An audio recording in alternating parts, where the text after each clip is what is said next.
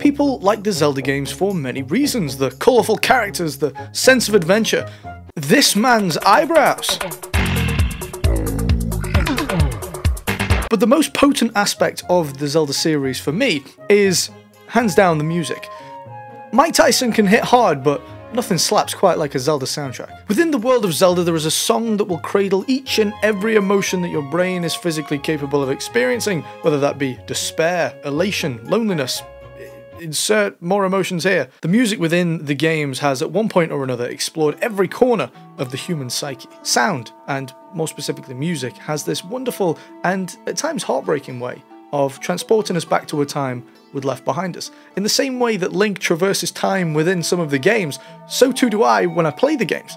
Whenever I boot up Majora's Mask or Wind Waker or whatever it might be, it's like I've just lowered the Master Sword into the pedestal in the Temple of Time. I'm whisked instantly into the past. If you remember one aspect about a given moment within your life, whether that be a sight, a sound, a smell, whatever, chances are in time you'll forget about that thing. And this is why association is such a powerful tool when it comes to storing information up here and remembering things.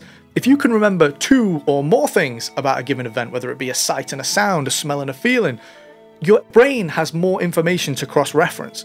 And when it does, because it's got more information to go off, the feelings attached to those memories will hit you that much harder. As I've grown up, I've subconsciously associated different moments or periods within my life with different Zelda games, depending on which one I happen to be playing at that given moment.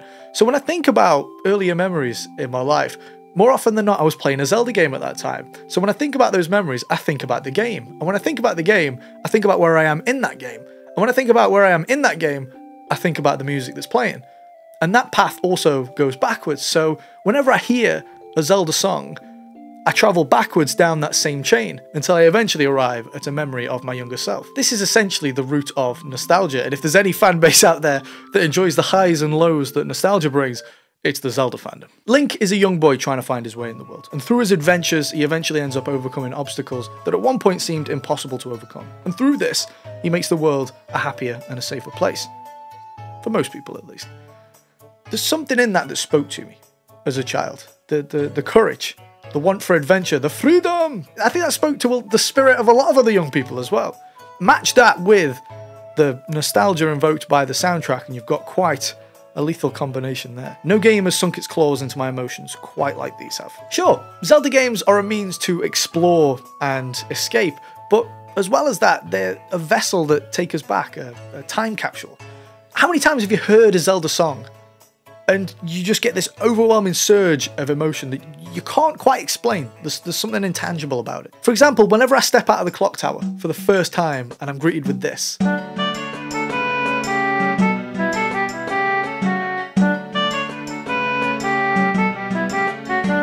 I don't know what it is. I, I get this warm, tingling sensation in my chest.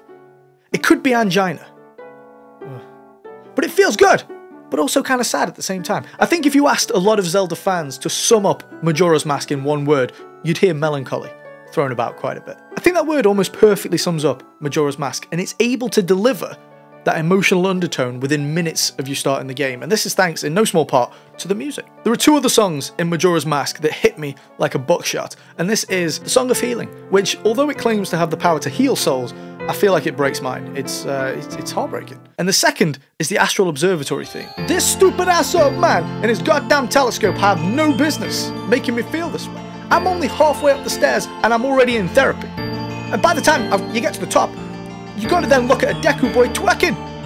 I am not emotionally prepared for these booty maneuvers right now. Hey, Jonny in the future, put up the Drake meme, but replace Drake with Link and then at the top have it saying, uh, you know, discussing your emotions with the boys. And he's like, nah. And then on the bottom, uh, you oh, put the picture of the, the Giga Chad woman from Twilight Princess. Uh, and then it says, discussing your emotions about Majora's Mask with the boys. Not gonna lie, I may have edited that picture slightly, but I think I think that's pretty fair. Now, whilst we're talking about powerful moments from the franchise in terms of music, I think the most famous example of this is the opening screen for Ocarina of Time. One chord and you've got like a tight grip around the hearts of most 20 to 30 year olds. Hi, Doctor. Yeah. Uh, I was just wondering is it possible to die from nostalgia? No. Oh, brilliant. Okay. Yes, although the opening screen for Ocarina of Time is probably the most famous example of a emotional Zelda music punch, I don't think it's even the most emotionally impactful song from Ocarina of Time. There is nothing in the entirety of the Zelda franchise that hits me as hard as the scene where you learn the Minuet of Forest at the entrance of the Forest Temple. Sheik's theme, along with the famous line, the flow of time is always cruel. It's a little bit I'm 14 and this is deep, but it often brings a tear to my eye on the occasion that I replay this game. This scene bared little significance to me as a kid, but upon replaying it as an adult, reflecting back on those memories playing this game as a kid, those words, the song that once fell on deaf ears now rings true to me. I understand what Sheik was saying, and I remember it hitting me like a ton of bricks. The flow of time is indeed cruel. And my most treasured memories, genuinely, some of my most treasured memories from my childhood was playing Ocarina of Time. And for that brief moment in the game, it's almost as though it's speaking directly to me. Of course it's not, and I'm just self-inserting. and you might find that a bit cringe, but it hits hard, man. Now, obviously, there is an abundance of emotionally impactful moments within the Zelda franchise, but another one that I do want to give kudos to, that I do want to give uh, an honourable mention to, is Fi's theme from Skyward Sword. And I want to give this kudos over other moments because although this song is associated with one of the slightly uh, less tolerable characters in the world of Zelda, that flute is able to win back the hearts and minds of the players by uh, the end of Skyward Sword one of the slightly more annoying, dare I say, characters, it's forgotten about. You hear that wistful flute and it's all in the past. That is granted that you managed to make it to the end of the game. I know there's probably a lot of people that threw themselves off the nearest bridge because Fi asked them if they know how to open a door properly. But still, you know music is good when it can make you like the dislikable. Why do you think I've been playing background music in this video this whole time? Talking about these games though, they were all examples of music being impactful in, you know, in slightly more sad ways, but the flip side of this is also true. Now that's not to say there isn't happy music within any of those games, because of course there is, but no Zelda game can lift your spirits with its music quite like Wind Waker. Personally, my favourite Zelda game, and man, what a soundtrack. This was also the first time I'd sought out the CD soundtrack of a game. I instantly fell in love with the archipelagian sounds, from the title theme this rendition of the shop theme, Outset, and Windfall Island. And of course, who could forget the aptly titled Inside a House?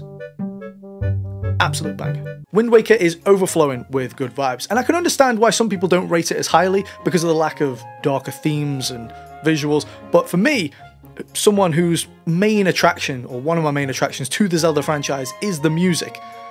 This for me had some of the best original themes. I felt like it had some of the quintessential versions of some of the reworked pieces as well. This could be to do with the improved audio capabilities of the GameCube over the N64, but this soundtrack, and therefore this game, is the one I personally champion as my favourite installment.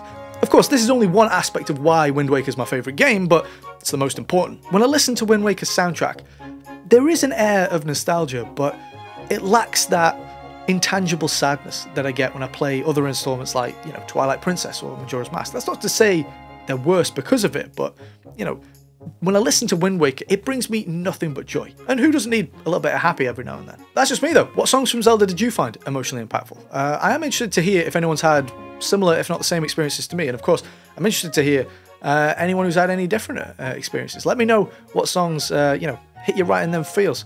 I'm, uh, I'm looking forward to reading those. Oh, by the way, did any of you manage to get your hands on the Tears of the Kingdom Collector's Edition? I unfortunately missed the boat on that one, didn't manage to get my hands on a copy, but I did go and check the prices over on eBay, and ouch. Uh, yeah, uh, I've already considered selling my neighbour's car. He's going to be super pissed if I do that, but I'm sure he'll understand. It's for a good cause. Thank you for listening, and there will be a Zelda video on this channel every single week, so stick around for that. And in the meantime, take care of yourselves and Bye.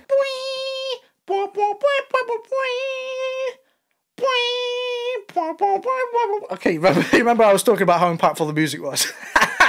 Not anymore.